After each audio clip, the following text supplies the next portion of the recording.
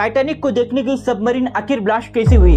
Titan नाम के submersible समुद्र में 12,500 फीट नीचे जा रही थी।